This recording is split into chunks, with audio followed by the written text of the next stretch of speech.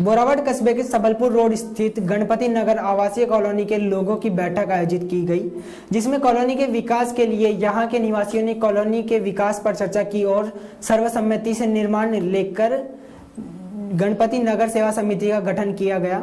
सर्वसमिति से अध्यक्ष ओमाराम नेत्रा ने को अध्यक्ष चेनाराम मेघवाल को सचिव, हेमाराम पादड़ा को, मेवाराम मेघवाल को संरक्षक, ललित कुमार जोशी को कोषाध्यक्ष, राजेंद्र कुमार प्रजापत को उपाध्यक्ष, हरिराम मुंडेल, श्यामलाल, नंदकिशोर सोनी घासीराम गोदारा, धन्नाराम मेघवाल, डॉक्टर हरेंद्र चौधरी, बीर बीरमा राम पिपरालिया, भूपेंद्र कुमार शर्मा, हीराराम दामामी आदि को कार्य कार्यकारिणी सदस्य के रूप में चुना गया। अध्यक्ष नेत्रा ने बताया कि बोरावड़ कस्बे की यह सबसे बड़ी कॉलोनी है, जिसमें 350 प्लॉट है। कॉलोनी में सर्व हिंदू समाज के करीब 100 मकान बन चुके हैं। सभी लोग जाति पाति भेदभाव से ऊपर उठकर आपसी प्रेम और सौहार्द के साथ रहते हैं। सभी में सभी के सहयोग से कॉलोनी में सड़क, बिजली, पानी, चिकित्सा शिक्षा सुविधा के विकास और स्वच्छ पर्यावरण के साथ आपसी प्रेम और सौहार्द को मज़बूत बनाने का प्रयास किए जाएँगे।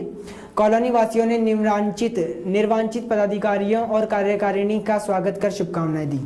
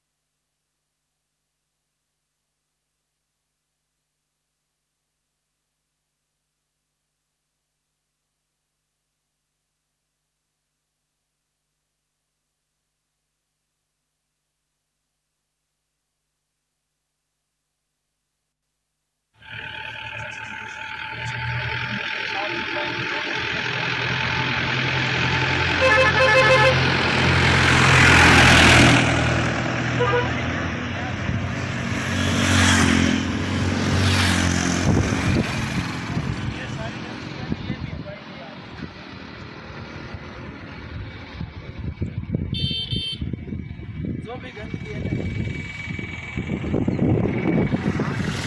कॉलोनी के बाद जो भी गंदगी है नाले वगैरह सारे ठीक करवाई गई है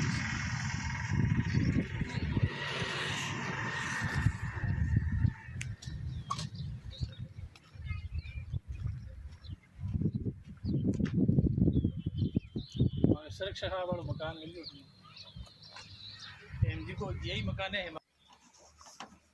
गणपति नगर विकास समिति को गठन लेकर आपके क्या उद्देश्य हैं? इसमें कार्यकारिणी किस तरह से विस्तार दिया गया है। जैसा कि हमने इस विद्या, इस कॉलोनी के अंदर साढ़े तीन सौ लगभग यहाँ प्लॉट है। साढ़े तीन सौ प्लॉट में से लगभग सत्तर अस्सी मकान बन चुके हैं। जिनमें से सबसे पहले मैंने इस मकान की यहाँ शुरुआत की थी और ये मकान बनाया था। और इसके बाद में मेरे यार दोस्त है, मिलने वाले हैं, रिश्तेदार है, सब लोगों ने यहाँ मकान बनाने की रुचि ली। और यहाँ छत्तीस कौम के समस्त जातियों के ये लोग यहाँ पर रहते हैं और ज़्यादातर अस्सी परसेंट तो यहाँ कर्मचारी रहते हैं। और कर्मचारी लोग जिस, जो भी, जिस, किसी भी वर्ग का क्यों ना हो, सारे लोग मिलजुल के बड़े प्रेम से हम ले, रहते हैं। जैसे हम अपने एक दूसरे को भाई की तरह प्यार देते हैं, एक दूसरे की भावनाओं की हम कदर करते हैं और एक दूसरे का सहयोग करते हैं। तो हम लोगों ने मिलकर के ऐसा सोचा कि अपन क्यों ना एक समिति बनाया जाए और इसका हम आगे ज़्यादा विकास किया जाए। इसके बीच में एक बगीचा है बड़ा। उस बगीचे का हमने चारों ओर चार दीवारी बनाने के लिए और साफ़ सफ़ाई और पेड़ पौधे लगाने का प्लानिंग बनाया है। सामने जो हमारे नाला बहता है, इसकी साफ़ सफ़ाई है और समस्त प्रकार की जो इसकी गंदी गंदगी इसमें जो भी किसी प्रकार की होती है, उनकी हमने सफ़ाई करने का प्लान प्लान बनाया है। और हम जो भी लोग यहाँ रहते हैं, वो सभी प्रेम से, भाईचारे से और एक दूसरे की भावनाओं की कदर करते हुए रहते हैं और सब लोग एक दूसरे की इज़्ज़त भी करते हैं। और जो हमने समिति बनाई है, जिसमें सभी लोगों ने मिलकर के मुझे आज इस समिति का अध्यक्ष बनाया है। मेरा नाम ओमाराम नेत्रा है और सचिव चेनाराम जी मेघवाल को बनाया और हमारे संरक्षक हेमाराम जी पादड़ा है। जो एक बहुत ही अच्छे नेक दिल इंसान है, जो सभी को साथ लेके चलने वाले हैं। इस कॉलोनी के मालिक जो मेवाराम जी है, वो भी हमारी समिति में है।